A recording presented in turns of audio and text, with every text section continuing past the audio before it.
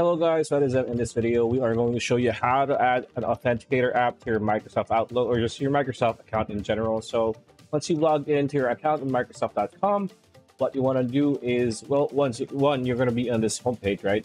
Uh, first thing you need to do is look to your left. This is going to be your main menu. And what you want to do is click on security like this. And in security, you're going to have an option here to manage how you sign in. So click on that. After that, you're going to have some options here. You're going to have enter password, email a code, text code. And here you can add a new way to sign in or verify. So what you want to do is click on this. And here a pop-up will appear, adding a new way to sign in or verify, face print, pin, fingerprint, so on and so forth. Use an app or email a code. So you want to use an app, click on that, and then set up Microsoft Authenticator app. Get the Authenticator app to your phone.